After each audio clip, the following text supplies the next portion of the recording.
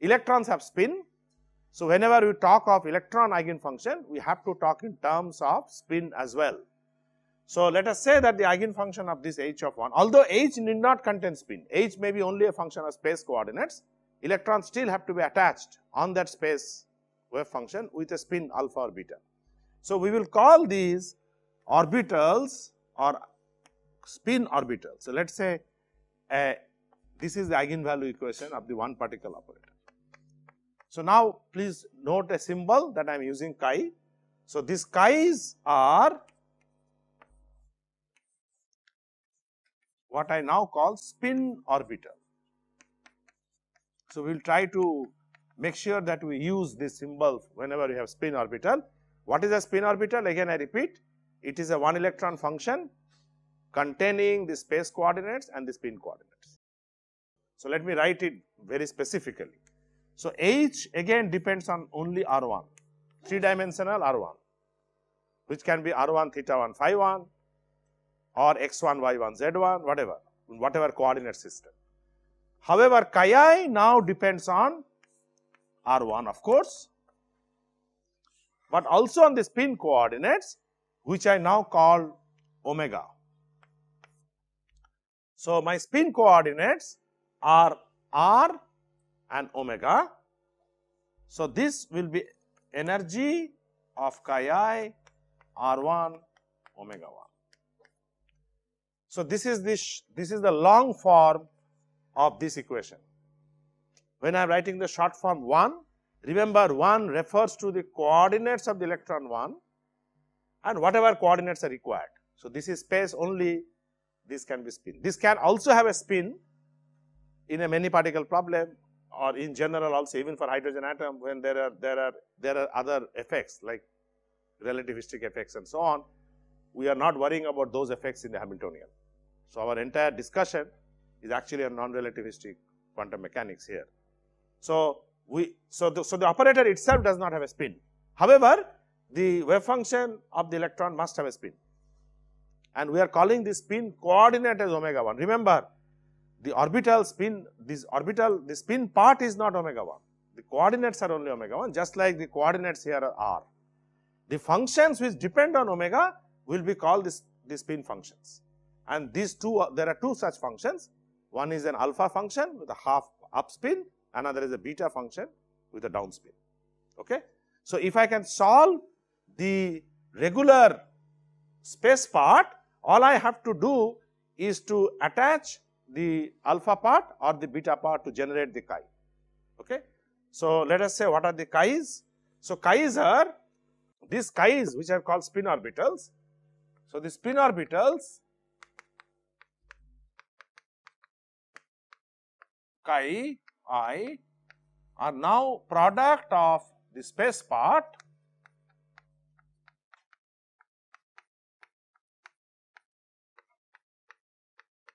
and spin part.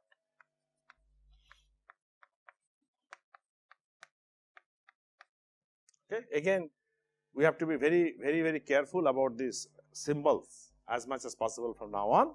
So, let me write down a chi i of r omega. Note that this was r1 omega 1, I am writing generally r omega. So, it can be r1, r2, whatever. So, this has to be a product of a space part alone and I am calling this phi let us say from phi k r and a spin part which is either alpha or beta. So, it will make it very clear to you that what I mean by the spin coordinate omega. The functions are actually alpha and beta as you have learned, okay, up spin and down spin, but those functions also depend on a coordinate just like your 1s orbital in hydrogen atom depends on r theta phi. So, those coordinates are what I am calling omega. So, omega is not the actual function, the function is either alpha or beta. So, for every space part, how many spin, spin orbitals? This is an orbital, this is a spin orbital.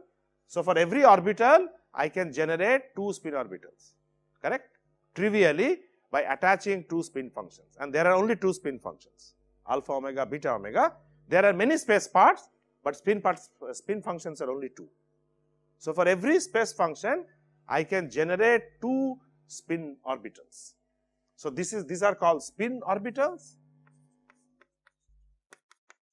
just, just as these are because they are one electron functions, but functions of space and spin coordinates and these just the phi k of r we will call orbital. So, please make sure that the symbols you understand. When I say orbital that means it is just the space part. Okay. When I say spin orbital it has the space part multiplied by the spin part and this is just the spin function. So, you do not have to bother about this. Okay. The, uh, the space and spin there is no coupling in my Hamiltonian. Okay. We can't do that if the, the spin orbital coupling is there. There is a coupling what is called spin orbit coupling which is not there in the Hamiltonian. So, that is what I know I first said that the Hamiltonian depends only on the space part. So, the spin is just attached, there is no coupling. It has to be in the wave function with electrons have spin, but those two spins are uncoupled with the space part. So, they can just like a non-interacting Hamiltonian we are attaching the eigenfunction as a product. So, here you simply attach as a product because there is no coupling. So, otherwise you are right they, they, they actually have a separate basis called the spinor basis uh, which are which are more complicated basis for those kind of couplings. Okay? And those are uh, dealt in um, uh, in a different level. Okay? And quantum mechanics. But our our quantum mechanics is non relativistic so the spin simply gets attached. So spin is very simple to a one particle part. But when you generate many particles you will see that the if there are complications even here. But as of now for one particle it is just trivial you simply attach it. So, that is the reason I said orbital is a 3 dimensional quantity, spin orbital is a 4 dimensional quantity, because this r has 3 and omega adds to a 1 dimension. So, you have total 4 dimensions the, for the spin orbitals. Okay.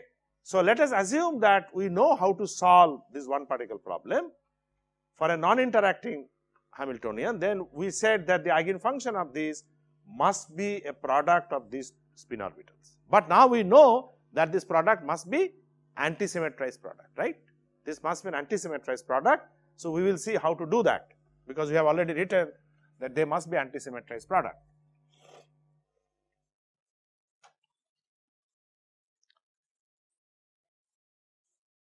So, let us assume that we have solved this problem and we have got set of spin orbitals chi 1, chi 2, chi 3 etc.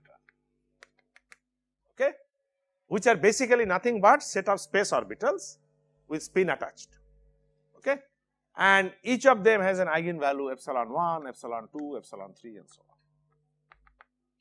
Quite trivially, these space parts can be solved separately, in which case of course, the eigenvalues will be equal like, like if I have these two have same space part, the eigenvalues of E1 and E2 will be equal and so on. But in general, I am writing this as E1, E2, E3. Right now, you do not have to bother which are equal and not equal. Okay, many of them may be equal. So, I have a set of spin orbitals for this one particle problem and a set of eigen eigenvalues of this one particle problem. Then I want to construct the wave function for the two particle problem. So, this is this is the wave function. Remember, this wave function is no longer orbital because orbital has to be one particle, spin orbital or orbital has to be one particle. So, it is a two particle function, I am just calling it wave function now, which is should be the eigenfunction of this Hamiltonian. What does our theorem says? Our theorem, what does our theorem say? The theorem says that this psi of 1, 2 must be an antisymmetrized product of the eigenfunctions of the one particle problem, right. So, for example, psi of 2, 1, 2 can be a product of any sets of chi 1. Now, the only catch is that they must be anti-symmetrized product. So, let us assume what we can, let us say I put this both the electrons in chi 1 to start with, let us say. So, let us analyze this function where I write psi of 1 2 as product of two one particle functions and both of them are in chi 1 spin orbital. Now, let us analyze this. Is it antisymmetric?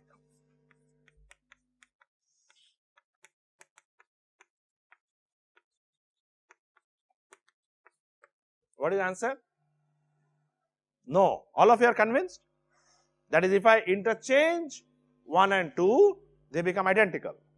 So, it is not antisymmetric, it is actually a symmetric function and this can be a good, a valid non-interacting Bose eigenfunction for Bose particles, but not for, so not for the uh, electrons. So, what can I do now? So, let us analyze another function. I put chi1 1 and chi2 2. Since I can't put in the same, so let us write this as a chi1 1 into chi2 2. And I ask the same question now. Now I know that already that one spin orbital cannot have two electrons, correct? Because I can't antisymmetrize. In fact, you already know that that is Pauli exclusion principle. So, what I just now showed is basically the Pauli exclusion principle. Because of the antisymmetry, Pauli exclusion principle is valid. But now what about putting one electron in one spin orbital and another in one spin, another spin orbital. So, for example, chi 1 can be space part phi 1 into alpha chi 2 can be another same space part phi 1 times beta or different space part with a different spin part, does not matter. Now, this is clearly possible and we know that for example, helium atom we have one is alpha, one is beta, right. So, this is clearly possible. So, I can obviously put two electrons, one in chi 1, one in chi 2, but is it antisymmetric? Answer again is no.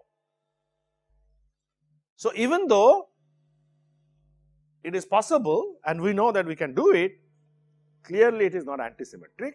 So, then the question comes how do I antisymmetrize? If you note the next wave function, so let us analyze this wave function now, where I put chi 1 1 and chi 2 2 and then subtract from it chi 1 of 2 chi 2 of 1. Okay? Which means I have put the two electrons one in chi 1 and one in chi 2 except that the first electron here was in chi 1, the second electron here was chi 2. I am now mixing it up the second electron in chi 1, first electron in chi 2 and I put deliberately a minus sign. Is it antisymmetric? The answer clearly is yes because if I make interchange of 1, 2, this part becomes this part, this part becomes this part and because of the sign, one negative sign, they become antisymmetric. So, now in this case, this is a valid wave function. Right now, I am not worried about the normalization. Remember, it may not be normalized to unity. So, that part I am not worried, well, that can be trivially done, but it is a valid wave function. So, it is possible to construct a valid wave function of a 2 electrons by using at least 2 spin orbitals. Okay, only 2 spin orbitals I should say not even at least. Okay, 2 spin orbitals I can construct a product. If I have more spin orbitals I can construct more products. Okay, many more than one product, but at least 2 are required. One is not enough because the one I cannot antisymmetrize. Note that you might have said, why don't you do the same exercise here? Write chi 1 1, chi 2, chi 1 2 and then write it again minus. But you will see they are identical, so it will become 0. Right? Had I written this chi 1 1, chi 1 2 and interchange 1 and 2 subtracted, it would have become 0. So, there is no way and that is the Pauli principle. But at least two different spin orbitals I can antisymmetrize by properly combining with a negative sign I interchange 1 and 2 with the negative signs and that becomes an antisymmetry. Antisymmetry. Otherwise, you will not get antisymmetry. If it is plus, it is not antisymmetry. It will become symmetric function, again Bose function. Because we have already said that elect our electronic functions must be antisymmetric. So, it is true to antisymmetry. So, there is a tremendous significance. In fact, if you put plus, then it will go to a Bose function. It will not be electrons, right? You understand? Because then if I put 2 1 then this will become this, this will become this, they are, they are plus. So, it is the same function. So, minus is extremely important, correct. So, let us analyze how do I write this function in a manner which is generalizable to a larger n particle problem. Right now we are discussing only two particle problem. Eventually you have to write for n particle problem for any pair. Before you do that, let us analyze these two, this function.